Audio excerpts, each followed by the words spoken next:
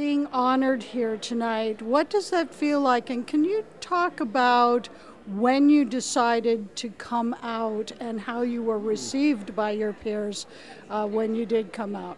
Well, what what it feels like being honored here at the DGA tonight is amazing because the DGA has always been a place where difference hasn't been the issue, talent has been the issue. So when I came out in the industry, um, there were people who chose not to hire me, and there were jobs that I didn't get. But what I've always found in the Directors Guild is it has never been an issue. It's always been an asset. I mean, we come from the days of George Cukor and you know lots of other directors I could name, uh, and so this is not news here.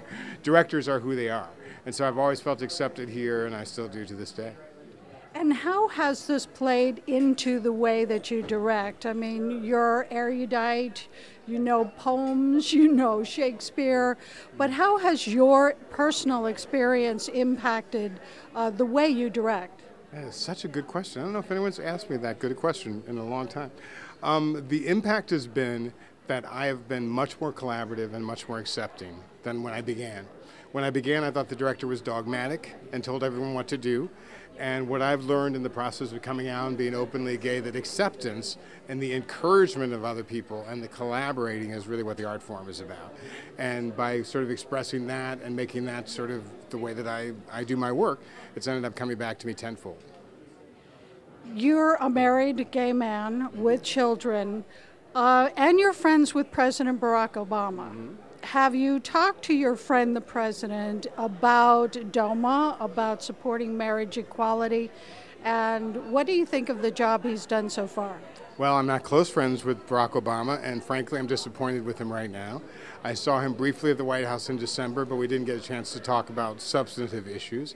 Um, I'm hoping that in the second term, free of the shackles of having to run for reelection, we'll see the man that I know is really there, who actually is really quite a progressive.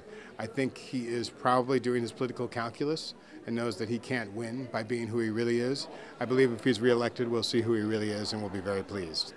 I was very disappointed in his State of the Union address because he talked jobs, jobs, jobs, jobs, and he didn't include the fact that so many LGBT people are discriminated against across the country. If you had an opportunity to talk to him, pull him aside and talk to him now mm-hmm. about the Employment Non Discrimination Act, mm-hmm. about uh, hiring, you know, uh, eliminating job uh, discrimination, what would you say to him?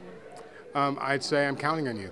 I'd say I'm counting on you, and millions of Americans are counting on you to be the man that we thought we were electing when we first elected you in 2008, who is a really progressive, intelligent, constitutional scholar who understands that the laws of the land are the laws of the land. You need to defend them for all the people of America, and I'm hoping that means that you'll turn this tide of discrimination the opposite way, and you have the power to do that.